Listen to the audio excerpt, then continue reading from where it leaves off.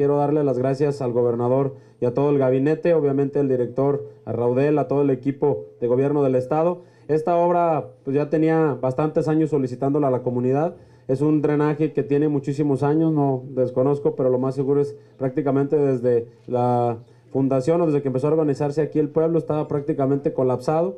Había muchas eh, pues denuncias ya de los ciudadanos en el tema de que pues era, era necesario rehabilitar prácticamente todo el drenaje, ya había malos olores y, lo que le sigue.